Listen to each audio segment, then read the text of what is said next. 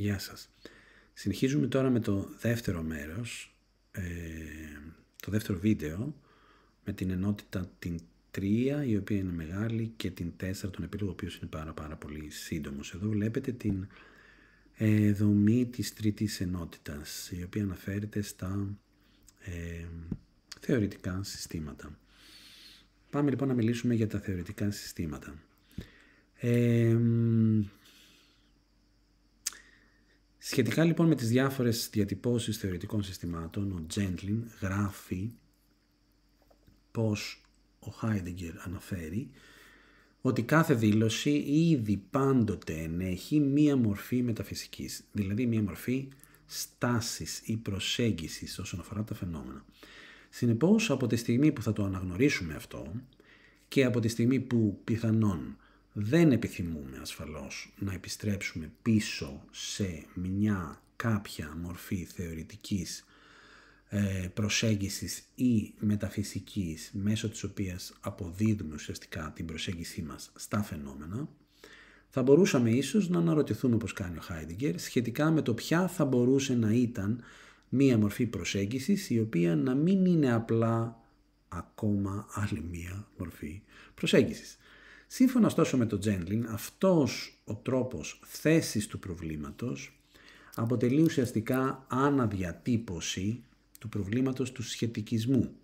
Δηλαδή, πώς δηλαδή θα μπορούσαμε πλέον να προχωρήσουμε με έναν οποιοδήποτε τρόπο, αφού κάθε ένας οποιοδήποτε τρόπος θα είναι μία νέα απλώς εκδοχή θεωρητικού συστήματος, ο γρίφος αυτός κατά τον Τζέντλιν προϋποθέτει ακριβώς αυτό το οποίο προσπαθεί να υπερβεί. Δηλαδή συγκεκριμένα ήδη θεωρεί υπόρριτα ότι όχι μονάχα η απάντηση οφείλει να είναι μια προσέγγιση, μια διατύπωση κτλ.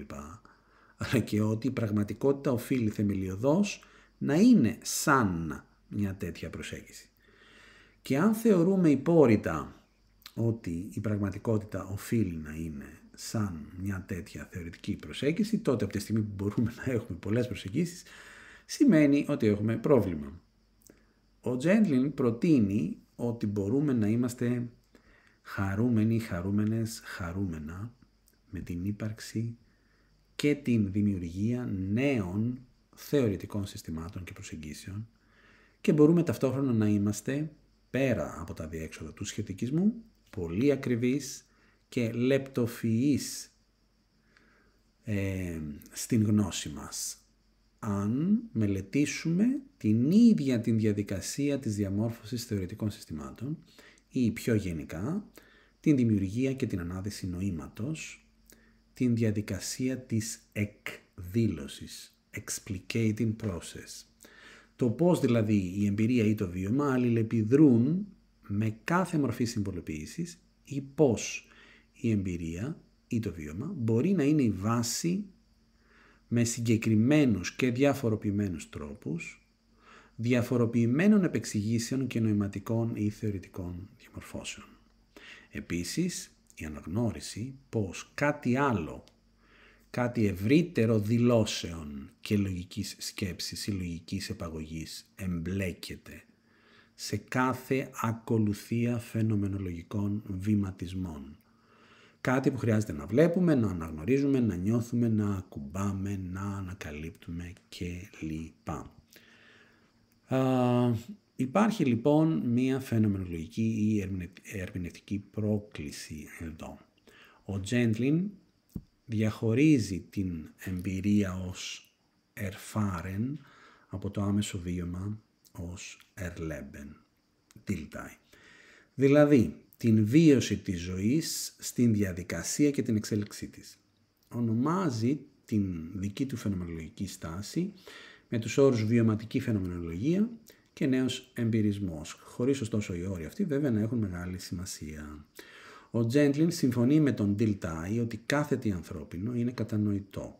Όχι γιατί μπορούμε να εφαρμόσουμε τις κατάλληλες έννοιες, αλλά γιατί κάθε τι ανθρώπινο είναι ήδη μία μορφή κατανόησης.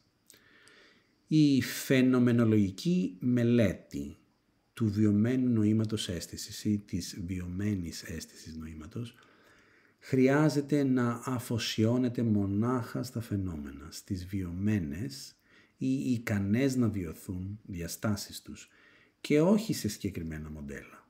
Χρειάζεται να αφοσιώνεται στις βιωμένες ή δυνατές να βιωθούν διαστάσεις οι οποίες εμφανίζονται ή αναδεικνύονται μέσα από διαφορετικές προσεγγίσεις ή διατυπώσεις.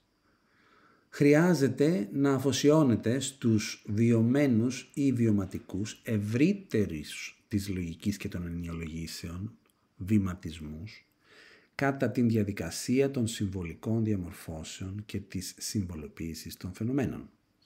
Ακόμα και αν τα φαινόμενα είναι ήδη πάντοτε δομημένα, γλωσσικά, θεωρητικά κτλ.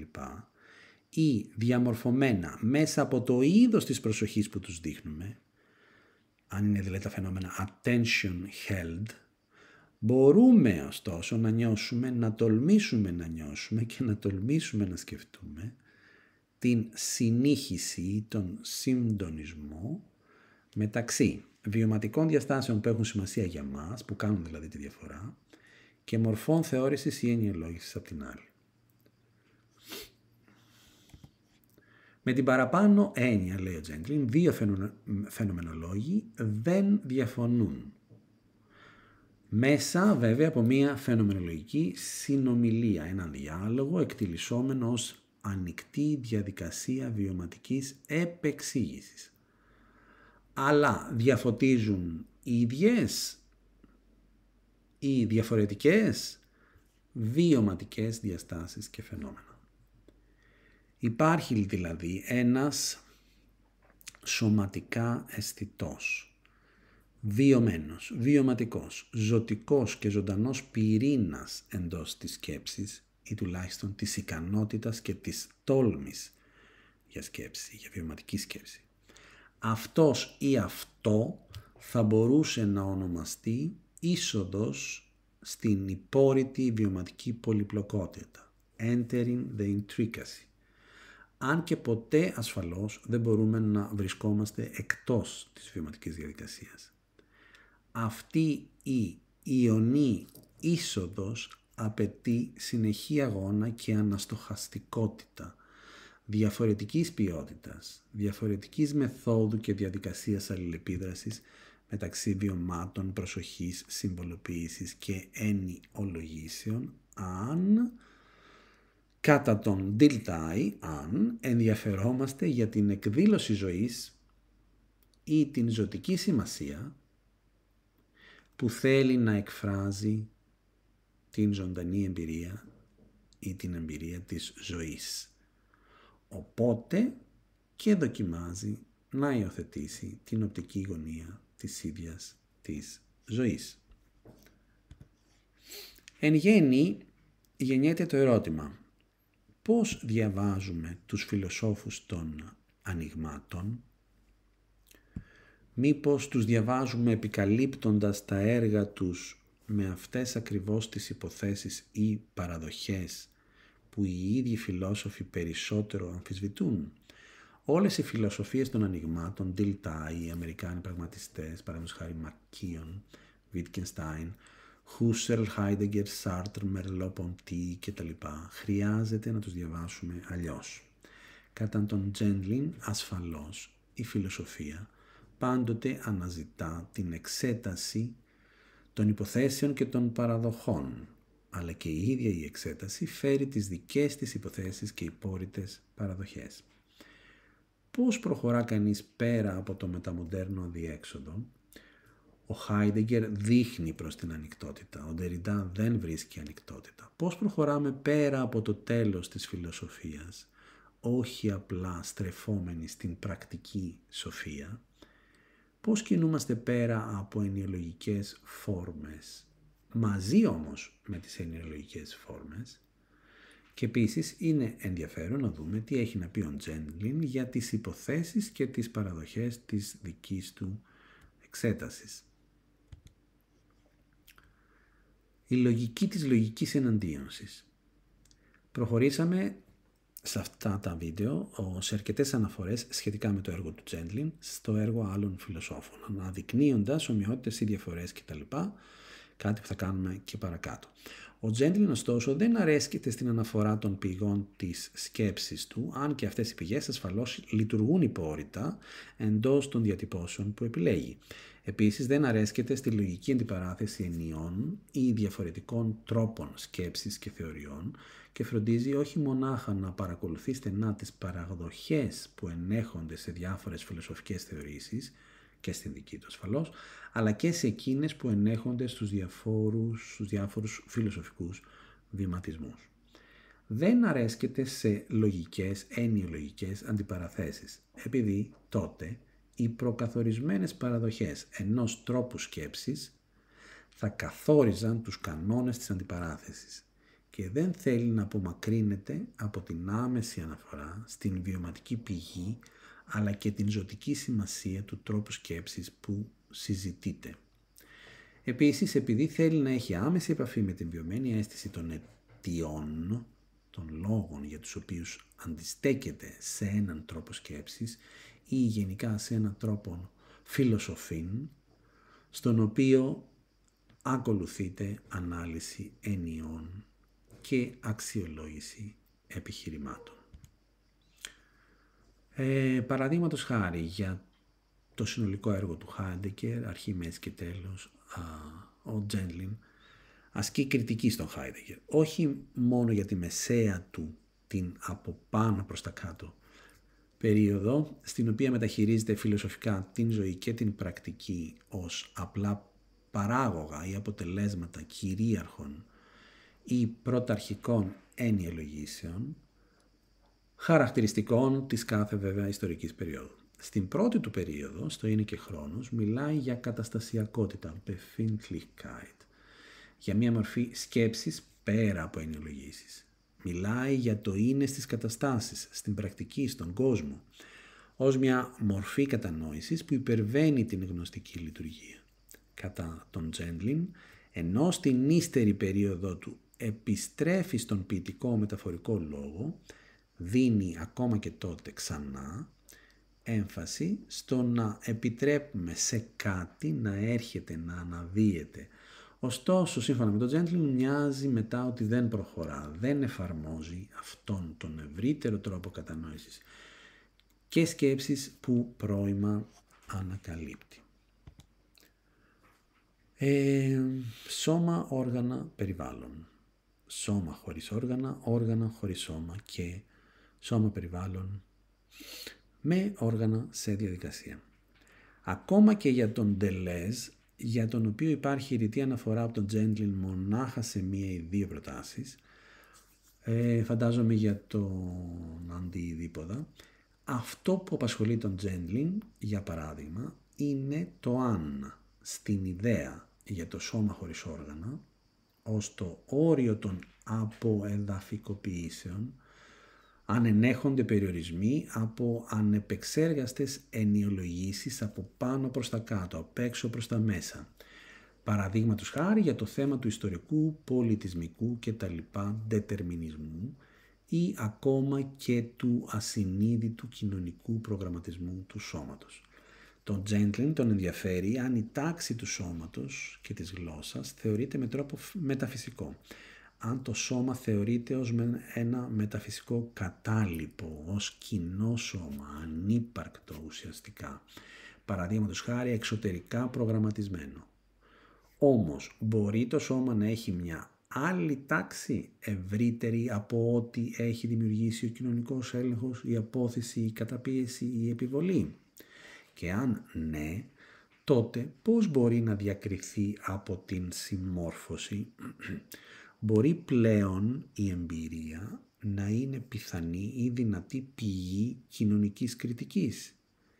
Πώς μπορεί η επαφή των ατόμων με την βιωματική πολυπλοκότητα να προσεγγίσει στην ανάπτυξή της το επίπεδο της κοινωνικής οργάνωσης; Για τον Τζέντλιν η διαδικασία της ζωής είναι αλληλεπίδραση σώματος περιβάλλοντος, πάντοτε ήδη οργανωμένη και ενέχουσα μοτίβων και όχι αρχικά γεγονότα ή συμβάντα χωρίς νόημα που θα πρέπει έπειτα να συνδεθούν ή να ολοκληρωθούν.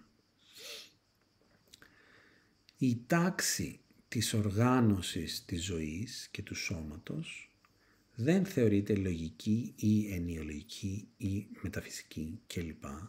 αλλά μια τάξη βιωματικής λεπτοφιούς, ζωντανής αποκρισιμότητας και αναδημιουργίας πέρα από ενιολογικά μοντέλα. Αυτή ίσως είναι η δική του ενοποιητική αρχή. Οργανισμός. Στον Τζέντλιν δεν θα βρούμε κάποια σκέψη παρόμοια με αυτή του Λακάν. Ότι για παράδειγμα το σώμα στην βιωματική του μορφή είναι ένα δευτερογενές φαινόμενο. Ότι είναι δηλαδή μια συμβολική κατασκευή και όχι ένα πρωταρχικό δεδομένο. Για τον Τζέντλιν δεν είναι η γλώσσα το πρωταρχικό σώμα του οποίου η υλικότητα συντίθεται από σημαίνοντα η λειτουργία των οποίων εισάγει τα όργανα στον λόγο και κατά συνέπεια στο σώμα, το σώμα ως το δικό μας σώμα μετά το στάδιο του καθρέφτη. Για τον Τζέντλιν το σώμα δεν είναι διασπασμένο, κατακαιρματισμένο πρωταρχικά σε ανοργάνωτες και αδιαχώριστες αισθήσεις, λιβιδινικές ή άλλες και ρεθίσματα κτλ όλες, όλες αυτές οι θεωρήσεις θα μπορούσαν να εξεταστούν στις αντίστοιχες δικές τους βιωματικές διαφοροποιήσεις για όσα άτομα αυτές οι θεωρήσεις έχουν ή αποκτούν νόημα. Σημασία. Signifiance. Με τον με όμοιο τρόπο όμως ο Τζέντλιν απέχει θεωρητικά και από μία από διαστρωμάτωση, από δόμηση, από συναρμολόγηση της σημασίας μέσω της άρνησης της συμβολικής διαμεσολάβησης σε όλα τα θέματα που έχουν να κάνουν με το σώμα κατά το πρότυπο των Τελέζ και Γκουαταρί. Αξίζει να πούμε ότι η γλωσσική ενιολογική σήμανση ή σημασία μέσω σημενόντων απέχει πολύ επίσης από την κατανόηση του Τζέντλιν για τη λειτουργία της γλώσσας. Η συμβολική τάξη των σημενόντων είναι ένα μέρος μονάχα των τρόπων συμβολοποίησης του άμεσου βιώματος. Ουσιαστικά ένα μέρος μονάχα των τρόπων βιωματικής πραγωγής, εκδίπλωσης ή επεξήγησης εκδήλωσης. Εαυτός και υποκείμενο ο εαυτός ως η ενοποιητική αρχή, ως το εστιακό σημείο όπου υλοποιείται το σώμα εντός της κυρίαρχης πραγματικότητας, το υποκείμενο ως ιστορικό, κοινωνικό, ατομικό πρόσωπο, με όλες τις δράσεις, τις, τις αναμνήσεις του, τα συναισθήματά του κτλ πώς θα μπορούσε να επιτρέψει κανείς ένα ευρύτερο πεδίο λειτουργικότητας του σώματος πέρα από την προσωπική επέκταση του εαυτού με σύνεση, χωρίς το σώμα να αδειάσει τελείως, διατηρώντας μια επαρκή έκταση οργανισμού, σημασίας και υποκειμένου. Για το Τζέντλιν το ζήτημα δεν αφορά στην άρνηση ή την αποδιάρθρωση των στράτα, αλλά στην βιωματική τους διαφοροποίηση μέσω της βιωματικής προαγωγής της ζωής. Της ζωής του σώματος, του προσώπου, της κατάστασης κτλ. Έχουμε λοιπόν στράτα, όργανα, φορμαλιστικές αρθρώσεις στοιχείων γύρω από οργανωτικές αρχές, ρόλους, γύρω από ρόλους, κανόνες, αυτοματισμούς. Εντάξει. Αλλά γιατί να επιτεθεί κανείς στην φορμαλιστικά αρθρωμένη γλώσσα και στο πάγια αρθρωμένο σώμα, στην όλη τάξη των κρυμμένων λειτουργιών όπως έλεγε ο Αρτό, το σώμα χωρίς όργανα ως καθαρή δυνητικότητα και δυνατότητα, ως assemblage στην ελάχιστη τυπική του οργάνωση, εντάξει μια εκπληκτική δυνητικότητα. Αλλά τι συμβαίνει με το σώμα με όργανα, με τρόπους σαν αυτούς του αρτό με τρόπους που αναζητούν το εξωτερικό, το μη γραμματικό, το μη συντακτικό όριο της γλώσσας, το πίσω μέρος του καμβά, το πίσω μέρος της γλώσσας, subjectile. Εντάξει.